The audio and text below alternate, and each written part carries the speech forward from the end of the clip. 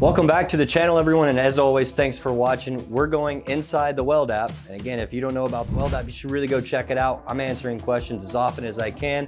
We've got a question from Aaron Ognita. He said, I need some help guys. Can you send me a weaving pattern for pipe schedule 60, 70, 18? I've got some schedule 80 right here and I'm gonna show you my technique on how to set yourself up for success on weaving a big old 70, 18 cap on a piece of pipe.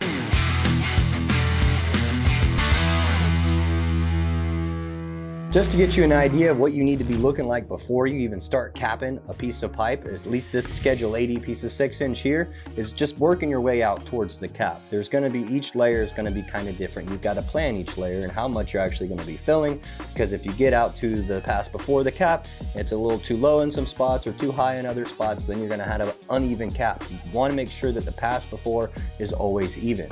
So if we have our hot pass here, as we see, it's not a lot of room to weave. If you know, you know you're gonna be weave or putting single pass welds on here. If there's no room to weave, don't try to weave. You're just gonna be scarring up your bevels and getting undercut or trapping some boo-boo. So make sure that you keep it nice and tight, keep it inside those bevels and don't let it go anywhere. We're really not only doing a little drag with this 332 70 18 and that's it. Keeping it right in the center. That's all you gotta worry about.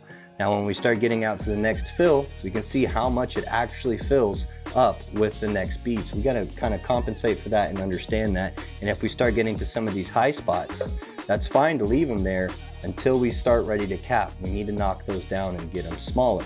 The trick to this is staying inside these bevel edges still we do not need to get that rod going outside those bevel edges. Otherwise, you're gonna be widening your bevels, and this is not the point to do it. You're only allowed, even after the caps, to be outside these bevel edges about a 16th of an inch on either side.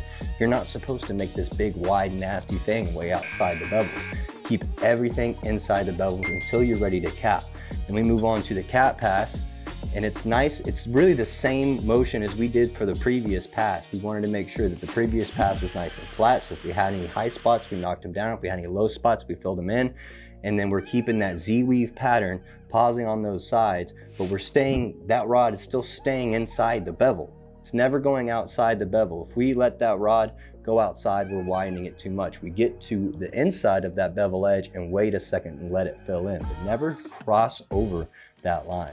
If you start messing up your bevel edges before you're even ready to cap, you're not ready to cap. You, uh, you've got other problems. You got way bigger issues. But now we wanna make sure our machine settings are right. And this Typhoon 230 is a stick welding maniac. And it's not even its main features. Main features has got a lot of stuff to do with TIG, but today we're gonna focus on stick and setting this thing up to make those welds good to go. Now, while we're not doing anything fancy, we're just capping with a 7018, putting a nice Z pattern on there and just weaving it a bit. This machine's pretty fancy. The Typhoon 230 has so many bells and whistles just for this stick machine. I really love the display, how big it is, and the fact that I can actually see everything. It doesn't take me away from this one screen, and you can kind of just adjust everything. You don't have to go back and forth. That was something that I really liked that they changed. We have all your basic stick features and some extras as far as the arc force, the hot start, the hot start time and the percentage, as well as adjusting your amps. Now, what is cool, you can now hook up the remote to your stick welding. So if you wanted to use your foot pedal, you can actually run your foot pedal if you want.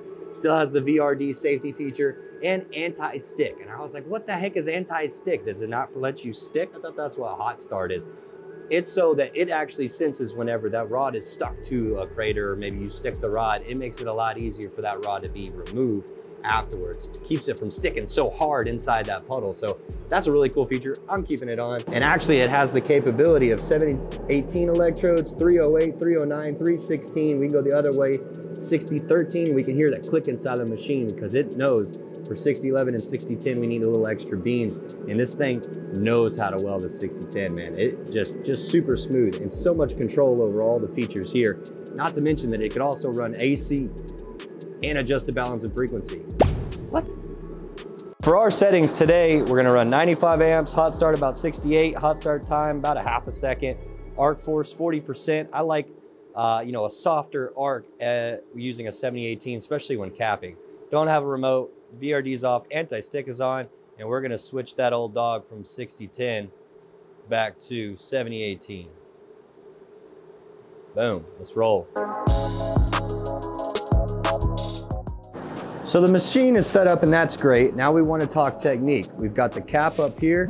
we can see that there's a little bit of reinforcement compared to what it looks like down here where there is nothing sticking up past flush. We wanna make sure we maintain these bevel edges.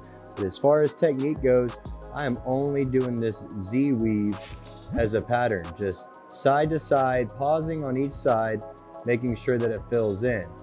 Now, the more that you go up in your Z pattern, the longer that you gotta pause. So it's really important that we keep this Z pattern nice and tight, tight to itself. That way everything fills in. We also wanna make sure that we're not going outside these bevel edges. These need to be remained untouched. So that means when we come across with this rod, we stay well inside of that so as that the puddle fills out, it doesn't hit that bevel edge. We stay inside this, doing this Z weave pattern all the way up, but staying close. Every time you hit one side, you have gone across the middle twice. So the middle is gonna take care of itself. It's more important that you stay close to the pipe and fill in these edges, but without, without getting to this bevel edge. Setting yourself up right here for your pre-cap is important for your cap, but we're gonna be doing the exact same pattern on the cap, just a couple extra details.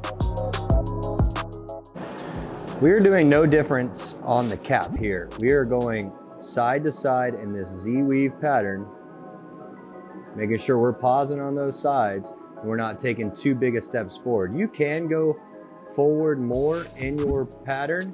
You just don't want to go too wide. You, you're, you're stuck to the tolerances of these bevels. These bevels are only about a half an inch wide. Now we were about that 16th outside that half an inch. So that means we're at that 9 16ths from side to side outside. That's as far, that's as much as we get. So we can't go and aim for these bevel edges. We got to keep that rod still inside those bevel edges. We might just pause a little longer to let things fill up. But you don't see that Z pattern in my weld. I mean, if you look closely, you can see how those ripples stack in there. But we're keeping that puddle. We're staying in our puddle no matter what. Staying inside the bevels and inside our puddle all the way up.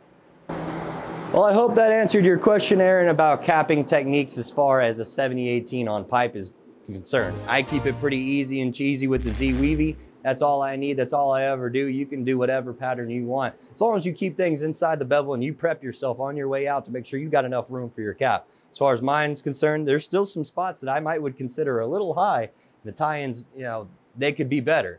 But that's what it looks like. I think it's pretty decent and I'm super impressed with this Typhoon 230, guys. We've only just started with this machine, played around with the stick, super smooth with the 6010s, open roots, 7018s. I've played with it a little bit. I haven't even tried the AC stick with it. There's so many more features that this thing can do, so much more than you'll ever need. And I'm excited to test it and put it to its limits. So stay tuned. Ask us some more questions inside the app, guys. We're in there answering them every single day. And if I don't get to it, someone else definitely will. Stay tuned for more of this 230, man. It's off the chain.